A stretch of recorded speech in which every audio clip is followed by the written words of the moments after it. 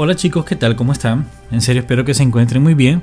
Y en esta ocasión les vengo a hablar acerca de mi drone, el Mavic Air 1 o simplemente Mavic Air. Es por el hecho de que varias personas me han preguntado que si aún, que si aún en el 2020 o próximamente 2021 aún sigue funcionando el Mavic Air, si aún es rentable. Una de las cosas que siempre me ha gustado comentar a las personas que me preguntan sobre ese tema y es que estamos tan acostumbrados que cada año o cada cinco meses hay que cambiar un equipo porque es necesario, porque es lo mejor de lo mejor, de lo más nuevo que viene. Y es ese, esa, esa mentalidad de consumismo bárbaro que a veces tenemos, que tenemos las cosas que funcionan muy bien, pero seguimos queriendo algo porque trae un pixel más o un FPS más o 10, 5 minutitos más de, de vuelo, eso realmente creo que es de pensar muy bien. Yo pienso que en realidad el Mavic Air o tu Mavic Mini o incluso tu Mavic Phantom en cualquiera de sus versiones sigue siendo bastante bueno en lo que tú necesitas.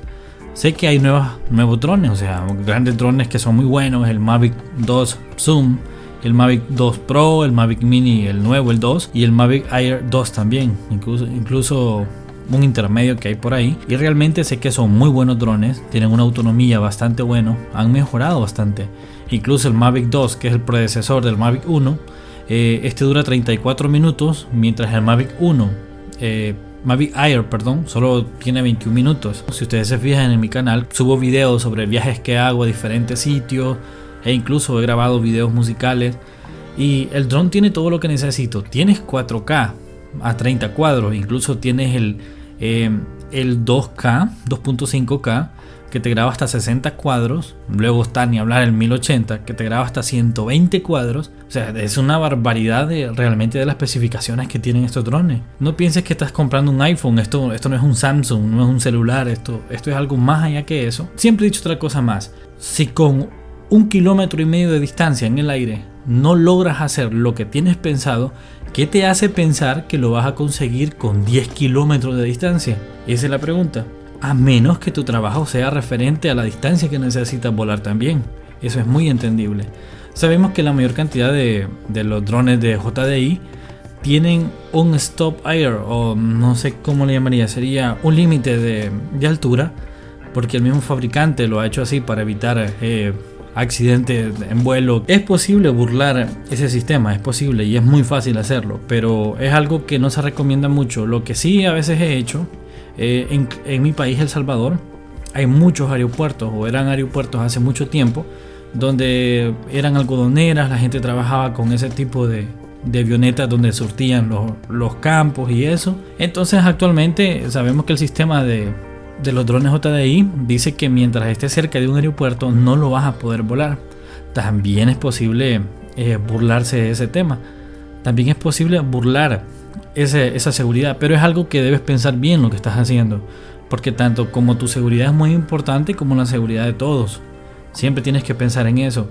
Además, en tu Mavic Air tienes una de las cosas más impresionantes que puede haber.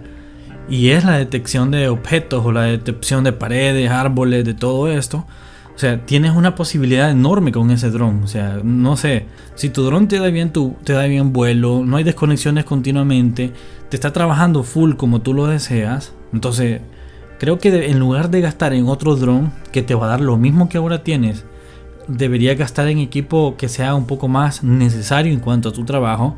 Si se trata de tu ordenador, podrías comprar una mejor tarjeta gráfica, aumentarle RAM para mejor lectura de datos, mejores especificaciones un disco duro porque ya tienes muchos, eh, que hay muchos proyectos que aún no has terminado o que necesitas más espacio, puedes comprar un disco duro más de 2 teras si es posible o más. Puedes que mejorar tu cámara comprando objetivos. Que algo sea bueno no quiere decir que no puede ser mejor. Es obvio que puede ser mejor. Pero no puedes gastar más de lo que tú ganas. no te vas a limitar en comprar cosas muy caras para luego no tener ni cómo mantener eso que ahora tienes. Hace un tiempo me pasó algo muy, muy, muy complicado. Eso fue casi los inicios de cuando yo tenía el dron. Y es que yo antes mis ganas de volar eran inmediatas. O sea, ponía el dron y ligeramente a volar rápido. Eh, no haciendo caso, haciendo caso omiso a lo de los satélites. Esa vez recuerdo que lo volé a 6 satélites. Iba quizás como a 20 metros de, altura y hubo desconexión total. pude ver cómo el dron empezó a girar, a girar, buscando a la orilla eh, de unos árboles, y eso pasó en el mar. En un manglar prácticamente fue, o sea, él, era inevitable lo que iba a suceder, o sea, el dron se iba a estampar contra los árboles, caer al agua y morir ahí. No se, no se imagina, se siente un susto bien feo, muy feo, pero es ahí donde voy con el Mavic Air. Con su sistema de detección de objetos o de colisión, salvó de gastar muchísimo, muchísimo en repararlo o incluso perderlo totalmente. Es algo que iba a ser inevitable, pero les aseguro, mientras estaba transcurriendo el momento, los segunditos estos donde el dron empezó a girar y ir directamente a estos árboles, fue no poder hacer nada, o sea, no pude ni siquiera mover nada de nada, no respondía, totalmente desconectado del control, sintió la detección de los árboles estos y se detuvo. Estuvo girando en, su propio eje, estuvo ahí quizás como unos 5 minutos, luego no sé cómo, pero eh, volvió por donde había regresado, notando que ya estaba quizás a salvo, se elevó durante 30 metros, giró hacia mi dirección donde inicia el dron y empezó a descender, a descender, a descender hasta que llegó. O sea, ese tipo de sistema, o sea, tienes un dron muy bueno, muy inteligente realmente.